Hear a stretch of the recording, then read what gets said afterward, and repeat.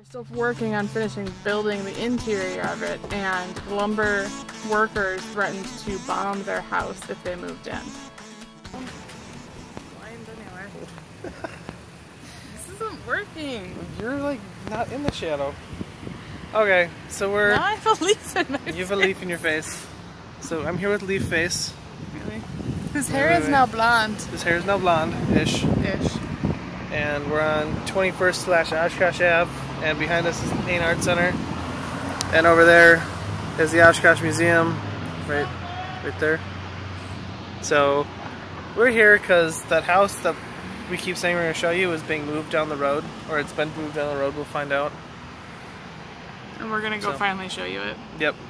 Because Peyton got to go see it earlier. Payne got to go see it. And we didn't. Picture of Payne in the house right there. Center. It's very sunny over here. They're the ones who own. Sorry, they're the ones who own the house that got moved because they're building a new parking lot. So they paid a dollar, They paid a dollar to buy the house because it's like a historical site. And but they had to agree that they would actually like safely move it. yep, And apparently they own a house, moving, company. so it worked out for them. But the Paine, we'll have to tell you more of the background behind it, but basically it's this really historical building here in Oshkosh. You can go in it, it's now a museum. Um, and they do different like specialty gallery stuff and everything in it as well, but you can go through and see the different rooms. But it was basically like the richest family in Oshkosh used to own it. And one of the really cool stories behind it is that apparently in the steps right there, there was a rumor that somebody had placed a bomb. So, yeah. What? You know the story about the bomb? No. Yeah, so they thought that there When was, was this? like way back when it was Oh. first built or whatever. They thought somebody put a bomb in there, and Okay. because people like didn't like them because they were rich or something. It might not even ever actually have happened. It's just one of those. It's one of those stories when you grow up living here, you hear about it. But it's a really beautiful building. They really nice. Well, they used to have really nice gardens behind it, and then they replaced them with a wedding area. So that's it.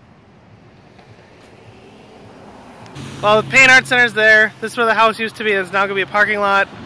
And earlier today, they drove it down this road. You can see tire marks everywhere to where it's going to be put. way in the distance. Yeah, we'll we'll go up there, but it's it's over there now.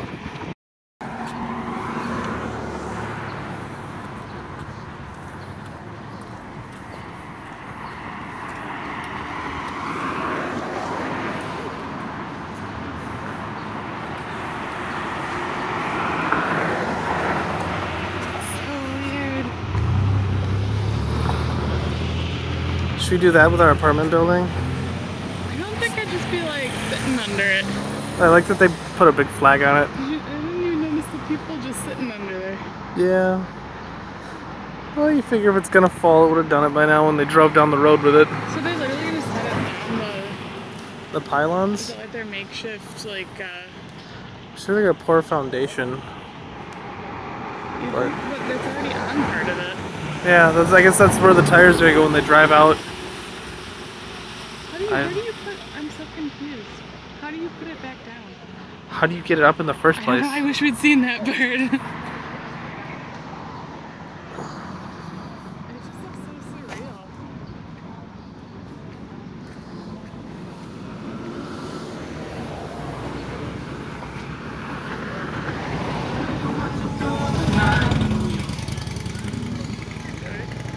They're sitting there drinking Miller Lite, sitting under the, the construction workers. Drinking beer.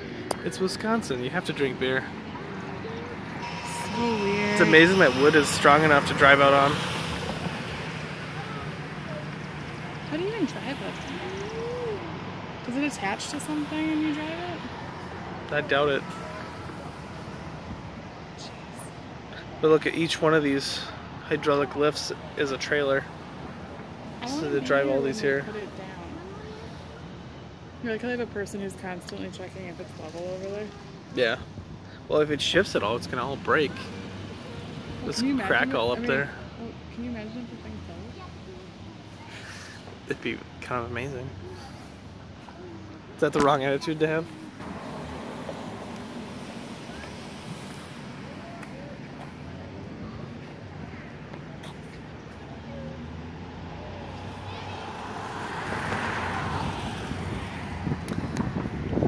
Just all the chains.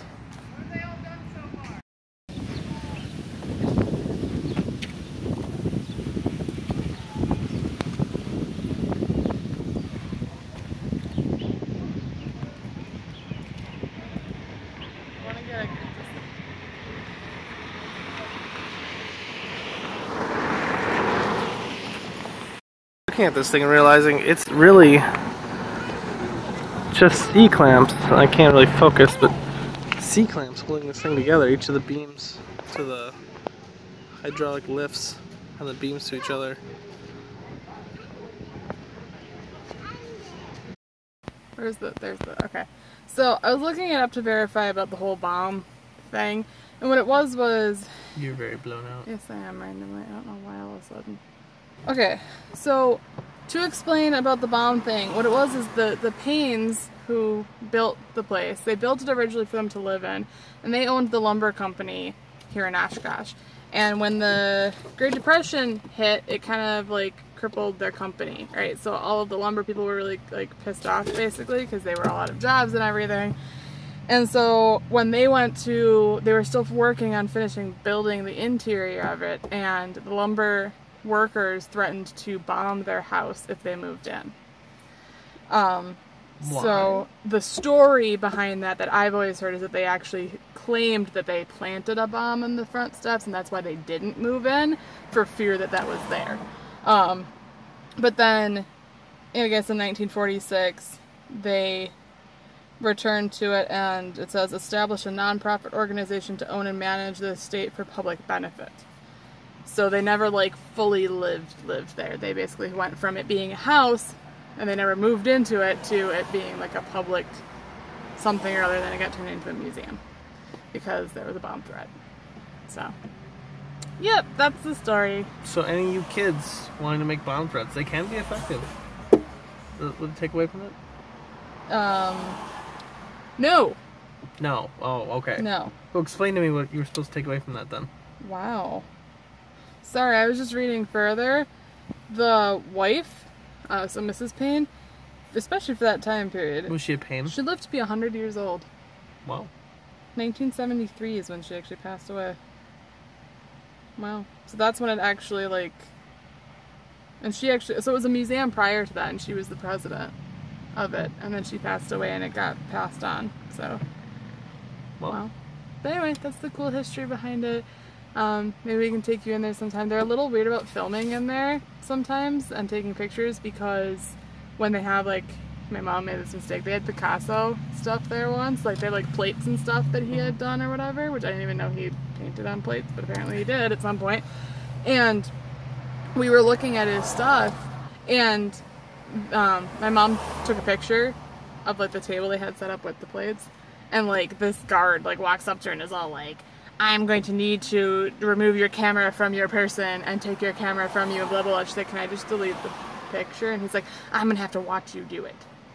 So to watch her delete the picture, I remember they got but really weird. she only deleted one, and we still have one. Your mom's a rebel. Yeah, I remember when they had the Ansel Adams, um, from the Ansel Adams Mm. Foundation had stuff here. Was it last year or the year before? They got really took weird. photography. Right? Okay, yeah, they got really weird about people taking pictures because the Ansel Adams Foundation is very protective of his stuff. Which, if you don't know his work, Yeah, you can insert- Google it. It's on Google, Well, but you can't take pictures Yeah, of it. it's all black and white photography, just really gorgeous stuff. Like, Well, yeah, especially for the time period that he was working with, like the equipment he was working with, like he did a lot of like he hand edited everything because the they're very extreme. Like they're not the normal. Like if you would take a black and white photo, obviously normally it's, Right. it's not super contrasty. Mhm. Um, especially when you didn't really have all of the camera options that we have now. And he did all sorts of hand burning and dodging Yes. of, and they're they're massive prints. Like, and by hand, I mean we literally mean like when you're going to develop the image. he held like things in front Yeah. of them, and We learned all about it, and we actually had to learn how to do some of it in the photography class we took. ours was turned out pretty bad. But there's we have pictures of Percy.